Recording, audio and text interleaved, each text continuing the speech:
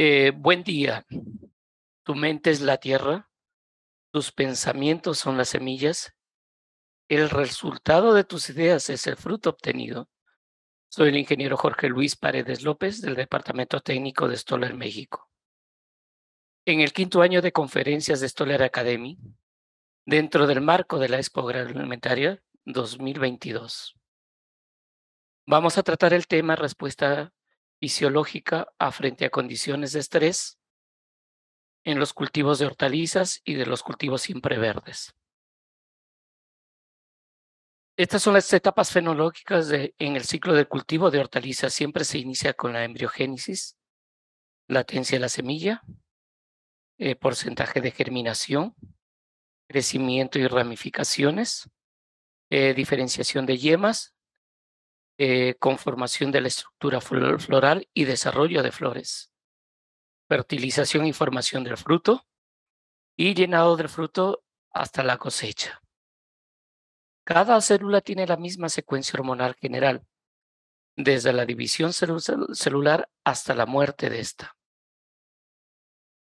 Durante esas etapas fenológicas hay requerimientos eh, de condiciones climáticas para poder cumplir su crecimiento vegetativo de la planta. Por ejemplo, eh, para la etapa de crecimiento eh, exige ciertas condiciones óptimas de temperatura, como de 21 a 25 grados, para diferenciación de, yemas, polinización y desarrollo de, la flor, de 18 a 20 grados, y para llenado de fruto hasta la cosecha de 20 a 28 grados.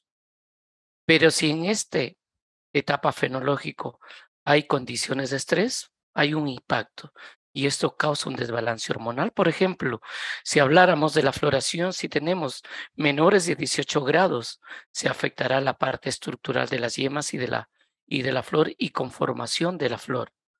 Y si hay condiciones de humedad relativa menores de 60 o mayores de 80% de humedad, se verá afectado también la parte de la conformación de la estructura floral y la parte también de germinación del grano del polen y su vida útil. Entonces, cuando hay estrés, se ve afectado el balance hormonal que mantiene la, la, polinización y la flor fuerte para tener más número de semillas y buena calidad de fruto a cosechar. De la misma manera, este impacto eh, por, estrés, hay una respuesta hormonal de las plantas frente a las condiciones de estrés biótico y abiótico. Por ejemplo, si hay una condición de estrés por bajas temperaturas, entonces no habrá suficiente síntesis de giberalinas y de auxinas para dar inicio a la germinación.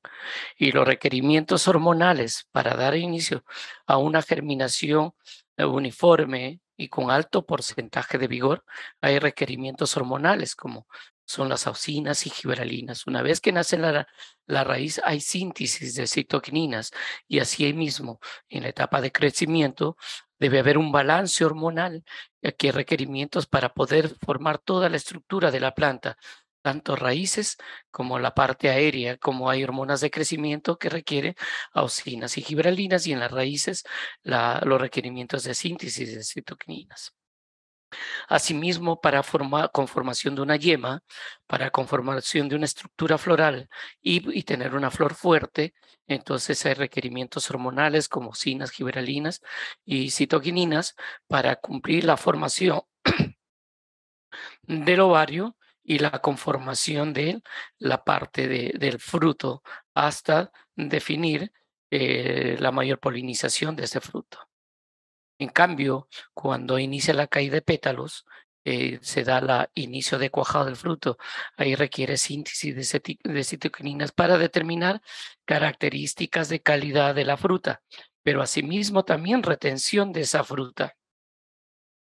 Para desarrollo y elongación requiere síntesis hormonales como auxinas, giberalinas y también en menor proporción citoquininas para determinar la elongación y el tamaño de la fruta y el suministro de la cantidad de agua y de solutos, potasio y calcio y la pueda distribuir hacia la fruta.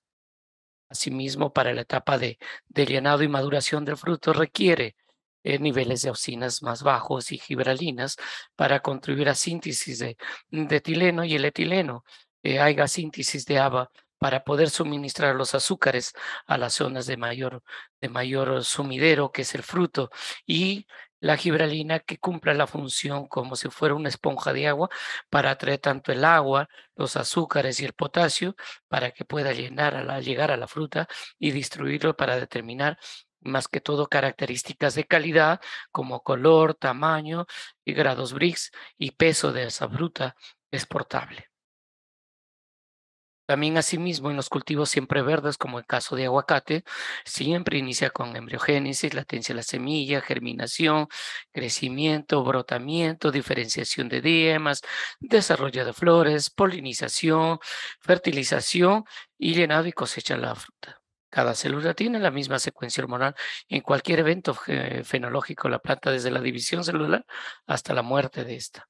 Pero también hay requerimientos, eh, caso, por ejemplo, de temperatura para crecimiento de 15 a 25 grados, para diferenciación de yemas y floraciones, requerimientos de 16 y 21 grados, y para maduración de 20 a 28 grados pero si hay condiciones de estrés en estos eventos, se afectará su proceso fisiológico, tanto ya sea en crecimiento, en diferenciación de yemas, en floración, en polinización y en, llenado de fruto. Entonces, las respuestas en, caso de hormonales de las plantas a estímulos frente al estrés biótico y abiótico, eh, la planta se, se prepara para esas condiciones de estrés. Entonces, pero hay requerimientos hormonales que la planta exige en ese momento. Entonces, para, por ejemplo, para eh, siembra o germinación hay requerimientos hormonales como de giberalinas, auxinas. Y cuando inicia el crecimiento hay requerimientos también hormonales de un balance hormonal que debe cumplir tanto en la parte aérea como en las raíces. Y en la parte de diferenciación de se exige síntesis de, de, citoquininas para diferenciar el número de las células y la conformación de la estructura floral. Inicio de la floración y polinización ah, debe haber un balance hormonal entre las auxinas y las giberalinas y las citoquininas que requieren para determinar una flor fuerte. En cambio, durante las, las cuatro a, a, a a, ocho a tres semanas hay requerimientos altos de síntesis de citoquininas para determinar características de calidad de fruto y asimismo la elongación de fruto requiere síntesis de hormonas como auxinas y gibralinas y en menor proporción citoquininas y para la maduración de la misma manera. Requiere niveles de, de auxinas en menor proporción, eh, también pero dentro de la fruta para que esto incremente niveles de ABA y asimismo niveles de, eh, niveles de etileno y luego síntesis de ABA para poder sacar todos los azúcares fuera de la célula y que se vaya directamente hacia el llenado uniforme de la fruta y su maduración y que incremente más materia seca. ¿Cuáles son los factores de estrés? Ah, son factores que ejercen una influencia negativa sobre el desarrollo de una planta. A lo largo de los años han ido evolucionando las plantas y han adquirido resistencia, un mecanismo de resistencia y de autodefensa. Hay una respuesta frente a los factores de estrés como alteraciones estructurales o funcionales que produce la, la planta frente a un estrés. También los factores de adaptación, de resistencia a modificaciones heredables que han sido incluidos en el ADN y el ADN contribuye a, ciertos pasos para aumentar la probabilidad que la planta sobreviva y se reproduzca. Como resultado final tenemos las características genéticas en la interacción del entorno que sucede los factores de estrés y adaptación en el cultivo. La adecuación son modificaciones transitorias reversibles sobre la expresión fenotípica y transitoria correspondiente a uno o varios fenómenos de adaptación al medio ambiente. Y esta es una respuesta fisiológica que las plantas frente a condiciones de estrés. ¿Cuáles son las etapas del estrés? Por ejemplo, señalización que detiene su función fisiológica primordial, afectando su proceso fenológico de la planta. Resistencia es la adecuación al metabolismo celular a las nuevas condiciones de activación de procesos de, y de reparaciones y expresiones de adaptación morfológicas adecuadas que se alcanza un nuevo estado fisiológico y, y óptimo de nuevas condiciones para determinar el crecimiento de la planta. El agotamiento es la situación del estrés que se mantiene por mucho tiempo y de la planta que detiene sus funciones durante la etapa fenológica y la etapa de restablecimiento es el estrés que desaparece de la planta y alcanza un nuevo estado fisiológico óptimo de la planta. Resistencia de las plantas al estrés es la capacidad de resistir a un estímulo ambiental como estrés abiótico o biótico. ¿Cuáles son esos factores como temperatura, altas temperaturas, eh, bajas temperaturas, estrés hídrico, eh, salinidad y compactación.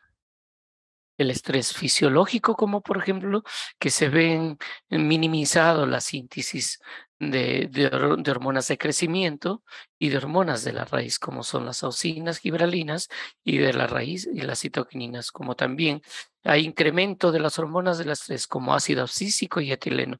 Y eso contribuye a cambios de estructuras celulares y una respuesta estomática en la planta. El estrés bioquímico, por ejemplo, síntesis de solutos, y, las, y expresión de genes de resistencia y proteínas de choques oxidativos y enzimas antioxidantes y, y osmolitos como son la capacidad de acumulación de iones, especialmente del potasio. En, en este sentido, eh, el doctor Jerry Stoller eh, tuvo una patente sobre el modelo hormonal de la planta, que son los métodos para mejorar el crecimiento y la productividad de, la de, las plantas, ajustando los niveles hormonales vegetales y su relación con otros cofactores nutricionales. Entonces, este es el balance hormonal que, el doctor Jerry Stoller patentizó en el ciclo de crecimiento de la planta, que, se ve en todos los procesos de las etapas fenológicas, como etapa de la etapa 1, que es crecimiento y está como brotamiento y establecimiento, la etapa de crecimiento vegetativo, de, eh, de floración y reproducción, y en la etapa de, de, de, llenado de fruto y madurez. Y hay exigencias de hormonas para, para, ese, para esa etapa, los niveles hormonales de acuerdo a la etapa. Por ejemplo, si quiero una germinación de semilla, tenemos que bajar los niveles de ABA y de etileno, incrementar los niveles de gibralina y osinas para dar inicio a la germinación. Y asimismo, en la etapa de crecimiento, el balance hormonal que debe ah, tener con las citoquininas, y gibralinas. Asimismo, en la etapa de floración, hay requerimientos hormonales que exige síntesis de estas hormonas, como en mayor proporción las citoquininas, auxinas, y luego gibralinas y así en la etapa de maduración y en esencia las etapas de etileno y ácido abscísico para llegar a tener y asimismo los cofactores eh, nutricionales que contribuyen a cada etapa fenológica del cultivo. de la misma manera, hay que, para el aguacate requiere ciertos cofactores nutricionales de acuerdo a la etapa de, del cultivo, ¿no? Y así el balance hormonal que requiere para determinar las etapas fenológicas de acuerdo a su estado de crecimiento del cultivo. Y aquí si hablamos las exigencias en formación de la semilla requiere síntesis de citoquininas de mayor proporción, diocinas y giroles para determinar la formación de, de la semilla y asimismo la maduración del fruto. ¿Cuáles son los criterios del estrés? Simplemente el estrés es un estado de la planta que están sometidos a situaciones desfavorables, limitando la productividad de la planta por debajo de ese potencial genético. Asimismo, hay resistencia. Esa resistencia es la reacción de la planta al estrés antes que ocurra el daño. Y el daño es el resultado de un estrés provocado en la planta, ya sea daños fisiológicos o metabólicos de tal grado que no pueda ser compensado la planta, por ejemplo, en absorción de nutrientes y absorción de agua y síntesis de hormonas como son las citoquininas, que ve afectado la capacidad fotosintética y el proceso de respiración. La planta necesita energía para cumplir todos sus procesos fenológicos de la planta. El estrés vegetal es el momento en el cual la planta no realiza sus funciones fisiológicas de manera de la cual se ve afectado su fenología y su máximo potencial de rendimiento del cultivo. Entonces, los factores de estrés en los cultivos son estrés abiótico como sequías e inundaciones, altas y bajas temperaturas, suelos salinos, compactación de suelo, el estrés abiótico. El estrés biótico como plagas, enfermedades y toxicidad por pesticidas, ya sea insecticidas, fungicidas, herbicidas o otros tipos de estrés. Y todo este estrés afecta su balance hormonal en los cultivos. Y este, este factor de estrés afecta en la síntesis y en la disminución o incremento de las hormonas. Casi las hormonas de estrés se incrementan los niveles de etileno. Y, por ejemplo, si hay estrés, la raíz es la primera que se ve afectado, entonces no hay síntesis de citoquininas, de gibralinas y en la parte aérea, eh, síntesis hormonales como son auxinas. Entonces, si esto afecta eh, tanto por el estrés biótico como temperaturas altas o bajas, nublados, exceso de estrés hídrico o exceso de lluvias, afecta su potencial de rendimiento porque afecta al incremento de síntesis de hormonas del estrés como es el etileno y el ácido abscísico y, y a las hormonas de crecimiento se ven afectadas al déficit de auxinas y de citocininas en la raíz y ácido giberélico y ácido indolbutírico que determina el efecto del tamaño de la raíz. Estos factores de estrés imposibilitan la expresión de su máximo potencial de rendimiento en los cultivos. Ahora vamos a hablar de estrés por altas temperaturas. Y esto influye sobre la velocidad de las reacciones químicas y sus reacciones catalizadoras y enzimáticas en, en las plantas. Los procesos, ¿Cuáles son los procesos internos que se ven afectados?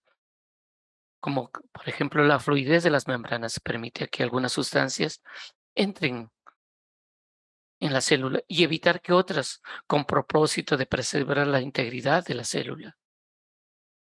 También desnaturación de proteínas que inhiben su crecimiento de la planta, que minimizando la catálisis de reacciones bioquímicas y que se ven afectados su crecimiento del cultivo, como por ejemplo capacidad fotosintética, se ve afectado el proceso de respiración, el proceso de oxidación de, citoquininas incremento el lava por factores de estrés. La planta necesita energía para crecer. Necesita energía para cumplir todos sus procesos fenológicos. También se ve afectada en actividades enzimáticas como la catalasa que actúa sobre el peróxido de hidrógeno y en la descomposición de agua y oxígeno liberando energía para que la planta cumpla todos sus procesos fisiológicos. ¿Cuáles son las señales y reacciones de cascada cuando hay estrés por altas temperaturas? Hay una reacción sobre expresiones de genes que aumenta proteínas de choque térmico. Estas proteínas de choque, de choque térmico sintetizan y estabilizan la estructura de proteínas y enzimas que ayudan en, en su plegamiento y ensamblaje del transporte celular y otra parte de la célula donde las proteínas realizan sus funciones, que están involucradas en la protección y el aparato fotosintético y estabilidad de las membranas. Producen enzimas antioxidantes y desintoxicantes para minimizar el daño causado por las especies reactivas de oxígeno, produciendo, y esto que es inducida por estrés por calor. El estrés térmico son productos que se ven afectados en la fotorespiración y en los subproductos de las alteraciones metabólicas necesarias para el reciclaje de las proteínas y, acumulación de osmolitos, iones y sustancias de, de defensa en la planta. Y estos afectan, todos estos factores externos afectan su balance hormonal. Por ejemplo, si tengo temperaturas mayor de 30, de 30 grados, porque normalmente el cultivo de, de hortalizas requiere temperaturas de 20 a 28 grados para tener una polinización y un cuajado de fruto. Pero si las temperaturas se incrementan mayor de 30 grados, se incrementan los niveles de agua. Pero si hay temperaturas mayor de 34, hay más incrementos, incrementos de etileno. Entonces, más temperaturas más altas, hay oxidación de la citoquinina. Se produce citoquinina oxidasa. También se oxidan las auxinas y se oxidan las giberalinas a mayor de temperaturas, mayor de 34, teniendo como consecuencia desórdenes fisiológicos caída, problemas de abscisión, caída de flores y frutos, malformación de frutos, eh, de frutos, eh, problemas de falta de polinización y germinación de la semilla y no hay semilla en la fruta. Y así como, como consecuencia, desórdenes en la floración. Hay eh, frutos de diferente tamaño o frutos de menor tamaño y poca retención de esos frutos.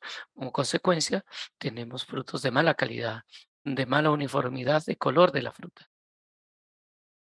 Por ejemplo, en el cultivos siempre verdes como aguacates, de la misma manera, requiere ciertas temperaturas incrementándose en lava, incrementando los, los niveles de etileno y oxidándose las, Ah, las citoquininas y asimismo las auxinas y las otras hormonas.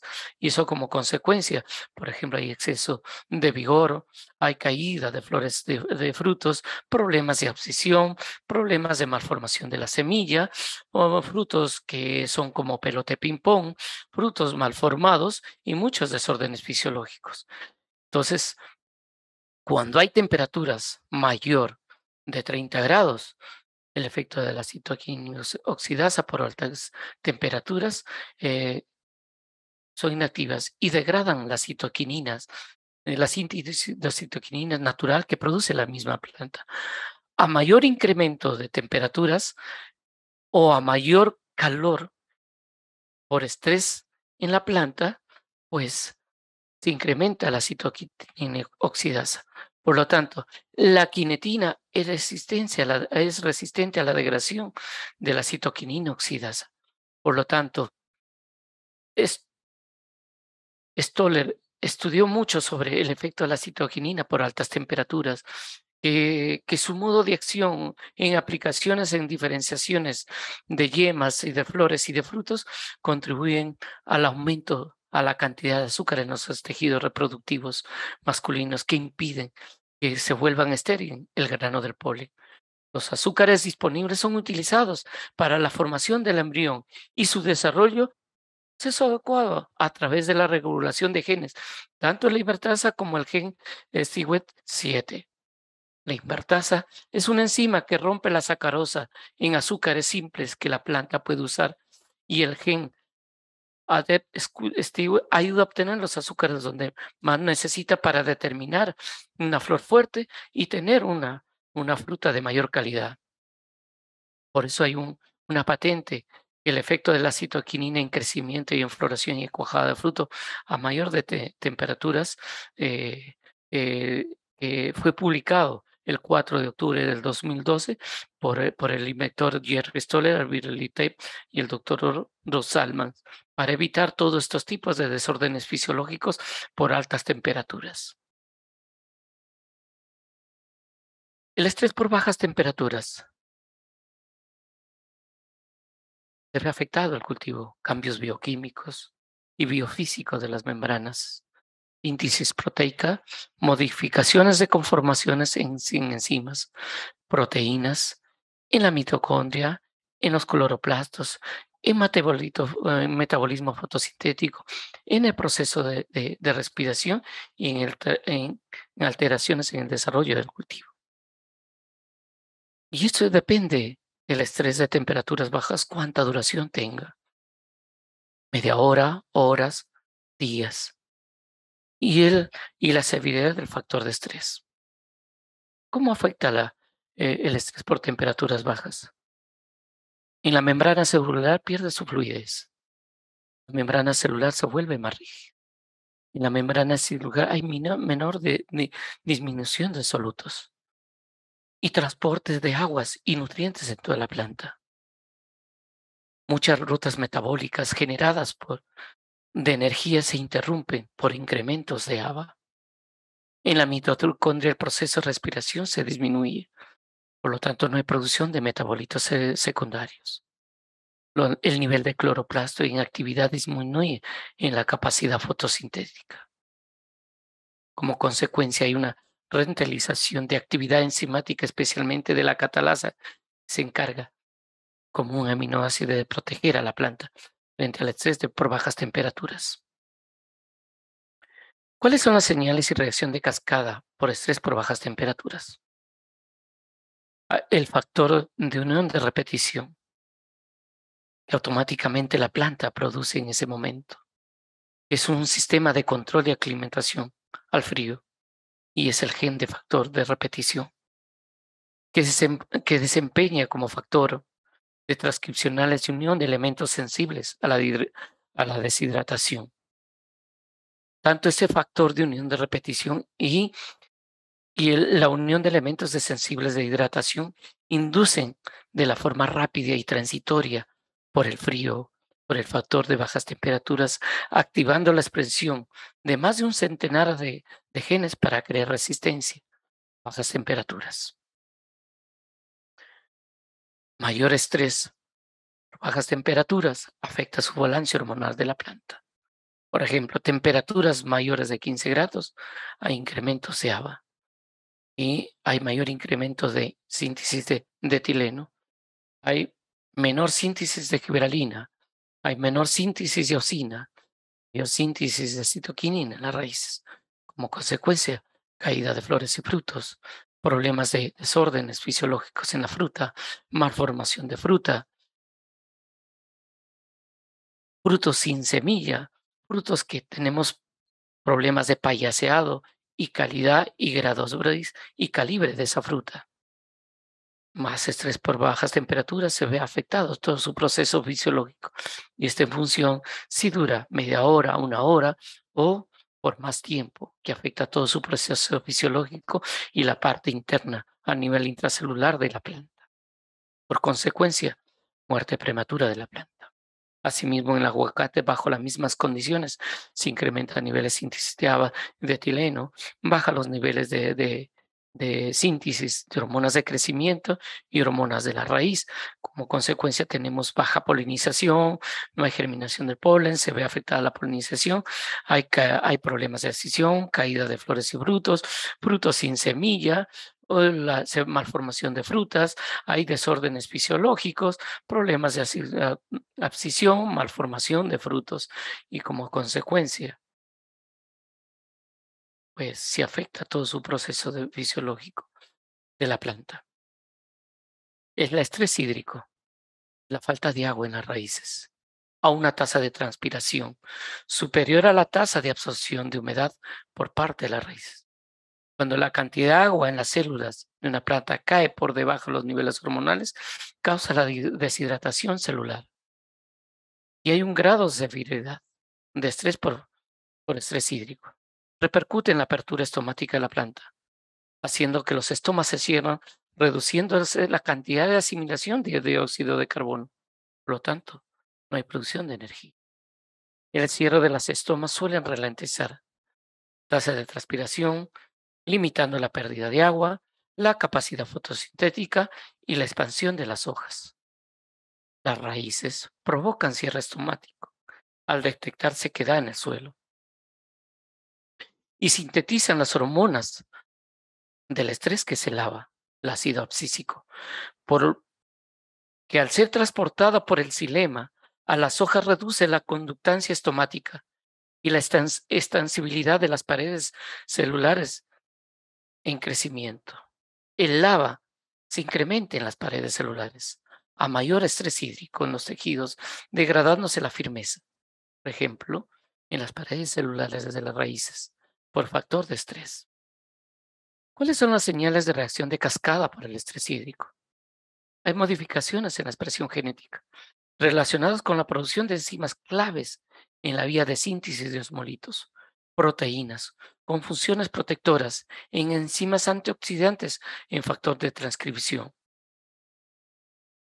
Los osmolitos son compuestos principalmente orgánicos de bajo peso molecular que permite el ajuste osmótico, como el potasio, como los nitratos, como el calcio y el sodio en la vacuola, y los solutos que acumulan en el citoplasma y que facilitan la toma de agua en la planta. Las proteínas, por su efecto protector potencial están en las proteínas de embriogénesis tardía. Esa es la que se da en mayor abundancia cuando hay estrés hídrico.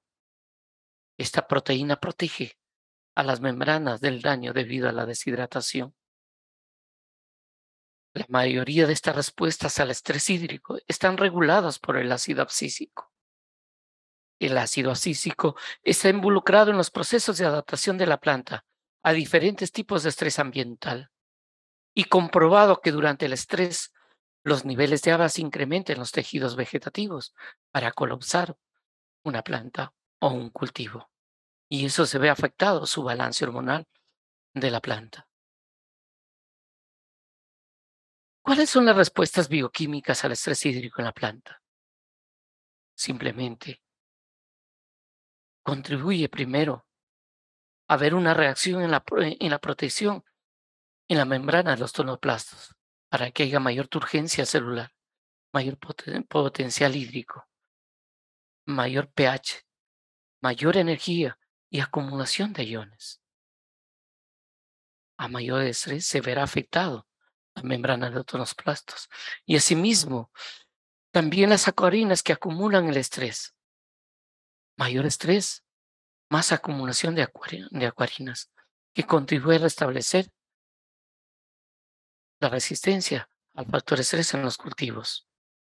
Asimismo, la planta también a mayor estrés hídrico bioquímicamente produce eh, en el sistema osmótico sin interferir función celular que contribuye a producir proteínas y aminoácidos que contribuyen a la resistencia, como por ejemplo la prolina, la betaína aldehidrodesogenasa y la, la sacarosa, cuando hay condiciones de estrés hídrico. Asimismo, cuando hay la respuesta bioquímica a la planta frente al estrés hídrico, las especies reactivas de oxígeno se incrementan y actúan como mutante y a causar peroxidación lipídica y altera las proteínas, causando mayor estrés en los cultivos. Asimismo, hay mayor secuencia. A mayor estrés, mayor secuencia de, de iones como potasio, sodio, fósforo y nitratos. Y esta secuencia de señales de reacciones de cascada induce síntesis de oligosacáridos, señales eléctricas y ácido abscísico y, histamina y aminoácidos, también como la ubiquina proteasa que funcionan de estas enzimas que degradan a proteínas que fueron dañadas internamente en la parte en la parte de las células de la planta y aquellas que sufrieron alteraciones por consecuencia por el estrés hídrico. A mayor estrés hídrico afecta el balance hormonal. Por eso que la capacidad de campo debe ser 50% de un suelo sólido, 25%, un 20% de agua, un 30% de oxigenación o de aire en la parte estructural del suelo. Pero si hay un estrés hídrico, entonces se ve afectado la parte estructural y las raíces en el suelo, habiendo, eh, incrementándose síntesis de ABA y de etileno, y como consecuencia bajando los niveles de síntesis de gibralinas, síntesis de citoquininas en la raíz y síntesis de ocinas, las hormonas de crecimiento como son y gibralinas, y mostrando un estrés hídrico eh, en la planta, ¿no? Asimismo, pues las hojas se, hay producción de enrollamiento, hay problemas de caída de flores y frutos, problemas de calidad de polinización y hasta muerte prematura. Y la planta más estrés hídrico trata de reaccionar. Entonces hay un comportamiento de estrés que te afecta todo el balance hormonal de la planta y como consecuencia desórdenes fisiológicos en los cultivos. Caso de aguacate, por ejemplo, muerte prematura. Eh, en las 20 centímetros de la raíz, una muerte prematura de la raíz, incrementándose los niveles de ABA y etileno y bajándose la síntesis de citoquininas en las raíces y síntesis de ocinas y uralinas en la parte aérea, creando como abscisión de flores y frutos, caída de frutos, problemas de abscisión, malformación de las semillas y desórdenes fisiológicos y fisiopatías en las frutas. Estrés salino El estrés salino, pues es el factor ambiental más limitante que afecta el crecimiento en las regiones donde las precipitaciones son limitadas, como en las zonas de costeras, que provoca un incremento en la presión osmótica en los cultivos. Ese estrés salino reduce la capacidad de absorber agua. Como se dice, síntoma de estrés osmótico. Es igual a una sequía fisiológica. Incluye, por ejemplo, mala germinación, muerte prematura de raíces, inhibición de crecimiento, hojas que los bordes se queman, marchitamiento de los brotes y posiblemente hasta la muerte prematura de los cultivos. El grado de severidad por factor de estrés de salinidad expresado por la salinidad afecta la disponibilidad y absorción de nutrientes en las raíces y puede causar problemas de toxicidad de sodio y de cloro, alterando el balance iónico en las plantas y del suelo de, una estructura asfixiante en las raíces. El fuerte estrés salino rompe la homostasis. No hay un equilibrio en el potencial hídrico, que interviene en los procesos, procesos de adquisición y transporte y distribución de iones. Desequilibrio internamente en la planta. El estrés hídrico tiene señales de reacción de cascada. Anatómicamente, afecta todos los procesos de división y expansión celular el crecimiento de la célula y su metabolismo fisiológico y biológico molecular de las plantas. Afectan las raíces, especialmente vainas fisiológicas como la endodermis y, y exodermis, que juegan roles importantes en la función básica de absorción y, y protección frente al estrés que modifican las bandas de Gasperín para tomar mayor agua y nutrientes y producir más síntesis de hormonas como las citoquininas. El sistema radical se caracteriza por la ausencia de pelos absorbentes a mayores estrés salinos, una precocidad sobreedición y lignificación del, del, endodermis y miembros del vaso de silema en grueso de las paredes de lignificación. Por lo tanto, no hay un equilibrio y un balance interno de las células. Mayor estrés hídrico la raíz, es el cerebro de la planta. Es el principal órgano de absorción y transporte de agua y iones. En este órgano se sintetizaba, señalizado por el estrés hídrico, por el estrés salino, que es capaz de producir cambios fisiológicos de conductividad hidráulica y cierre estomático y especies reactivas de oxígeno, como periodización de lípidos y mutaciones de ADN y degradación de proteínas. Los iones tóxicos más abundantes son el cloro y el sodio en las plantas. Causan problemas, competencia de iones y absorción de agua y, deshidratación de la raíz. Como consecuencia, incrementa los niveles de etileno, de ABA y etileno y menor síntesis de citoquininas en las raíces. ¿Cuál es el mecanismo de respuesta fisiológica en la planta frente al estrés por salinidad? El ajuste osmótico pues, es la osmorregulación, confiriendo así una tolerancia frente al estrés de salinidad. Él da a partir de mecanismos adaptivos. Este ajuste se basa en acumulación activa de solutos y síntesis de solutos orgánicos compatibles, como aminoácidos, que crean resistencia frente al estrés salinos, como la prolina, que acumula con frecuencia por el efecto de estrés la protección de las funciones celulares a través de la captura de especies reactivas de oxígeno como fuente de energía, regulación de, las, mm, de, los potenciales de oxidación y reducción que contribuyen a estabilizar proteínas en las membranas y estructuras y subestructuras que actúan como compuestos de reserva y fuente de nitrógeno inorgánico. Homostasis iónica la síntesis de compuestos de homoprotectores de reducción de daño al estrés oxidativo y en el papel del ácido acídico en este sentido. La desintoxicación de las especies reactivas de oxígeno, las cuales las plantas emplean una serie de antioxidantes como la ascorbactoperoxidasa con el fin de combatir el estrés oxidativo provocado por salinidad. Más estrés por salinidad se incrementan los niveles de síntesis de abetileno. Son partidarios de la salinidad en las plantas y este es adaptado a las condiciones de estrés a través de una complejidad de vía de traducciones de señales hormonales. El ABA afecta el proceso de respiración. El etileno penetra eh, en la membrana celular y se une a los receptores en el retículo endoplasmático, responsable de la síntesis de moléculas y transportes de sustancias de energía. El ADN activo en la y transcribe el ARN mensajero y se traduce con una enzima funcional para la biosíntesis de etileno. Como consecuencia, el estrés incrementa los niveles de ABA y etileno. Más estrés salino, más problema de incremento de citoquininas en la raíz, de síntesis de citoquininas y hormonas de crecimiento en la parte aérea.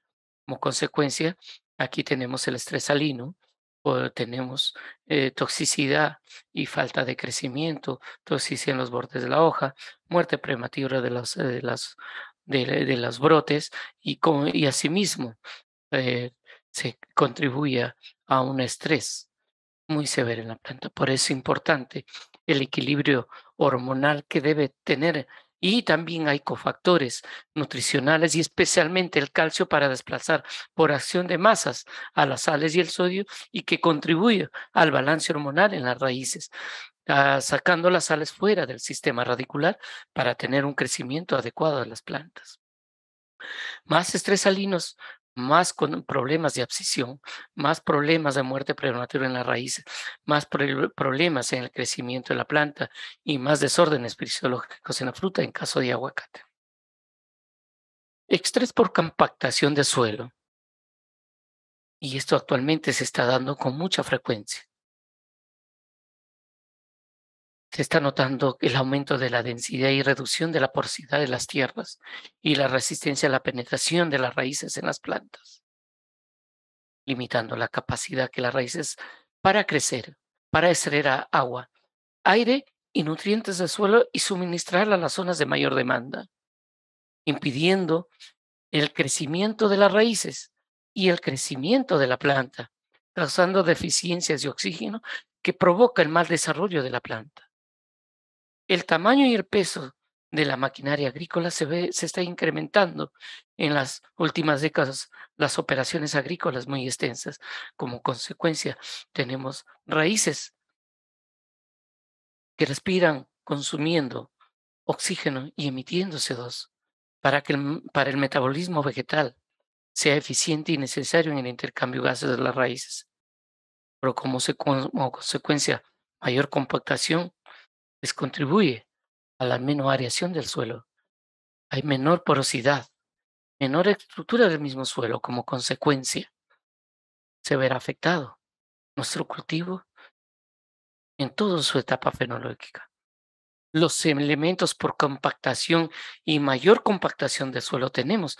También son esos, estos elementos como el sodio, como el magnesio, como los cloruros, como el azufre, los, los bicarbonatos, la conductividad de pH. Y esto contribuye a la falta de capacidad de la planta de absorber nutrientes. Y son los iones más importantes en la compactación y la impermeabilización que, los, que generan estos suelos por factor de compactación, afectando y reduce su potencial de rendimiento de los cultivos. ¿Cuál es el mecanismo de respuesta fisiológica a la compactación del suelo? Se ve afectado el desarrollo radical de las plantas, y esto depende de las características genéticas de la variedad. Su expresión es alterada por la compactación del suelo y de las propiedades físicas y químicas del suelo, que afectan el desarrollo del sistema radical y el nivel productivo, por las condiciones hídricas, térmicas y mecánicas y de aireación. Como consecuencia, distorsionando la arquitectura de la planta, debilitando su sistema de anclaje, la resistencia a los vientos, limitando la, explotación y el crecimiento radical para obtener más agua y más síntesis de citoquininas y cofactores nutrimentales para llevar a las zonas de mayor demanda. La respuesta al estrés de compactación de suelo acumula proteínas abundantes de embriogénicas tardías y biosíntesis que aumenta la restricción radical y modulación por relacionados cambiantes ante hormonas de, de crecimiento y de la raíz, como son auxinas y citoquininas. Más estrés por compactación del suelo contribuye a un desbalance hormonal, provocando incremento de hormonas del estrés, etileno y ABA en la raíz y en la parte aérea. Y disminución de auxinas y gibralinas en la parte aérea. Y disminución de síntesis de citoquininas en las raíces. Como consecuencias, a mayor compactación, mayor incremento de gibralina. Porque un suelo en condiciones normales debe tener 50% de suelo, 25% de agua y 25% de aire. Pero si esto hay una compactación del suelo que se convierte a mayor de un 75%, pues habrá incremento de estas hormonas. Por lo tanto, se reducen las, las hormonas de crecimiento como ABA y como giberalinas y auxinas, y en las raíces síntesis de citoquininas, no muerte prematura de las raíces, problemas, problemas de caída de flores y frutos y desórdenes fisiológicos. Muchas gracias.